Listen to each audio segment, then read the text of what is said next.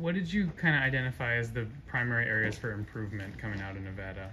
Um, yeah, I mean, there's there's always a lot of them. Um, you know, we, we talked about several things. Um, you know, I, I felt like overall we, we did a lot of things pretty well, but um, let them let them wiggle off the hook a little bit. Um, you know, we jump offside and kind of relax on one play, and they throw a long pass on us. So I mean, those are things that we cover and should know, but sometimes just need to review.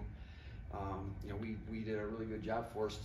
They fumbled the ball five times. I think we legitimately made them fumble four times, and we got zero of them. And really, some of them we weren't going to get anyway. But you know, there's probably there's probably one or two that we should have gotten, and uh, didn't, and for various reasons. So we're you know got to talk about just you know that's why you finish plays all the time, right? And you don't let off the gas, and because you just don't know what's going to happen and we had guys let off the gas a little bit and got fumbled the ball, and their guy recovered it on the one yard line. So you know those are things, and then um, you know so there, there's always things like that, but um, um, you know I'm not. Uh, you know, we're not really, you know, we got to correct the negative things, or we got to we got to fix the things that need fixing. But I'm, you know, we're we're, you know, being as positive as we can moving forward here, and and uh, so I, I, want our guys to keep feeling good about the direction of things because I certainly think it's. Uh, it's it's going in a in a much better direction than some previous previous experiences.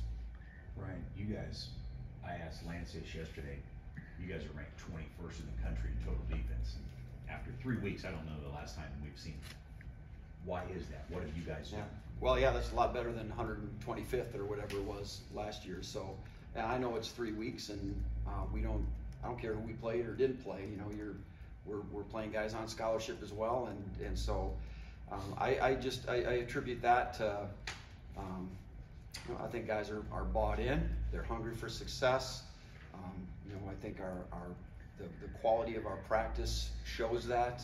We've got, you know, we've, we've had inexperience in the past. We've got more experienced players right now who, who know better what we're doing and how we want it done. So uh, I think our just our execution of things is a lot better. And um, we're, you know, we've preached for since the day we arrived here about, you know, uh, getting off the ball, owning the line of scrimmage, playing physical, and I feel, I feel like we're, you know, we're, we're starting to do that. Um, you know, one of those other things, and I don't really pay a lot of attention to statistics. I just happened to catch one that we're the number one in the country in havoc rate on defense. So you, when you're talking about, you're putting all those things together, TFLs and sacks and interceptions and pass breakups and all those kind of things that that create disruption, which is what we talk about a bunch. Also, we're uh, we're number one in the country in that right now. So you know, we gotta we gotta keep going that direction. I think guys are seeing that the the benefits of those kind of things. So um, yeah, so I, I, there's a number of things you can attribute it to. I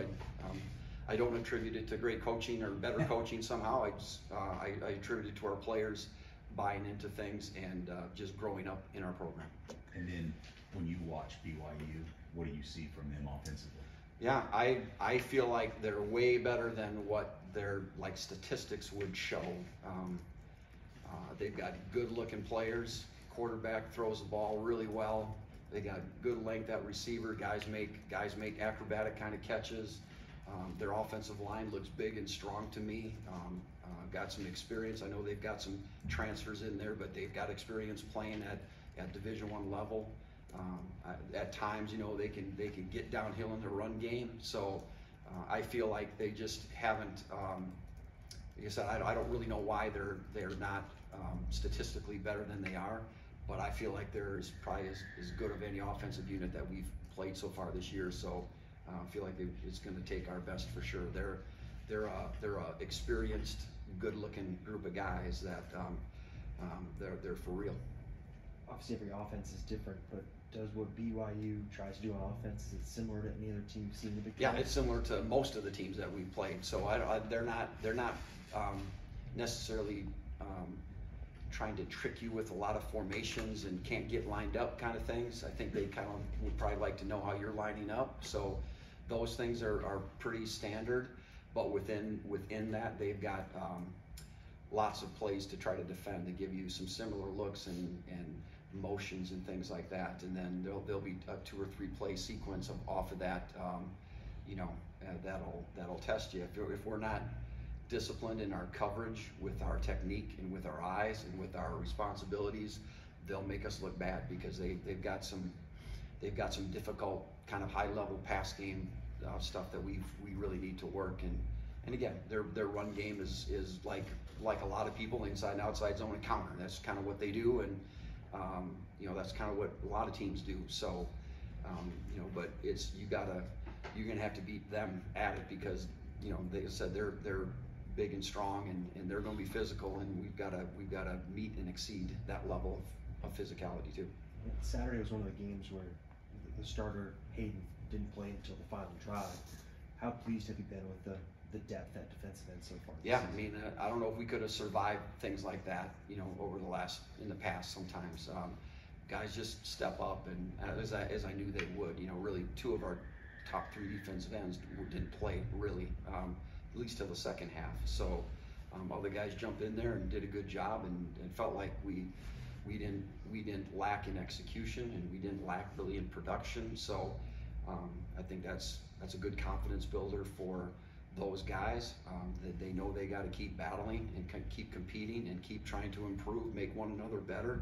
Um, that's good confidence for me and us as a coaching staff also to know that um, you know we can we don't have to we don't have to abandon our plan because we don't have a guy. We can we can insert and keep going forward. So that was tho- those are good things.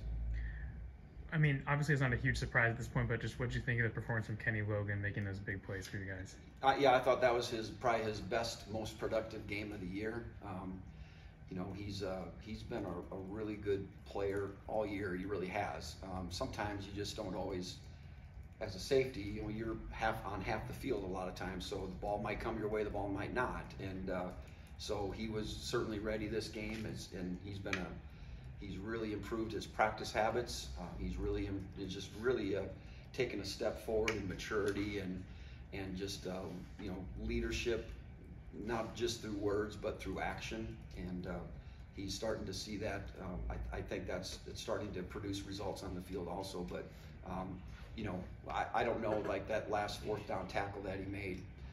He's just he's just confident enough and knows what's going on and knows that's his man and he's just going. You know and. I don't know. Some guys would have like hesitated to pull the trigger like that, and we wouldn't have got that tackle for loss. And that's why I was kind of glad that he was the guy doing it. And you know, when he gets a beat on something, he's he's really uh, he can really be effective. So I'm I'm happy for him, and he's really playing well. And I think he's he's feeling good about himself, and, and I feel good about him.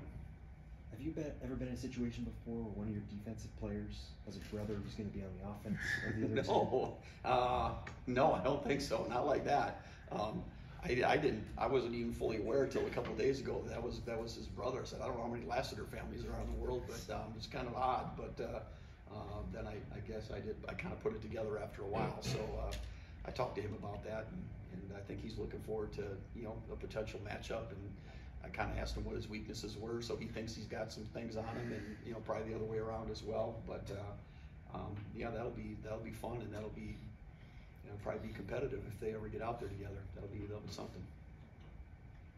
Anything else, Coach Pete?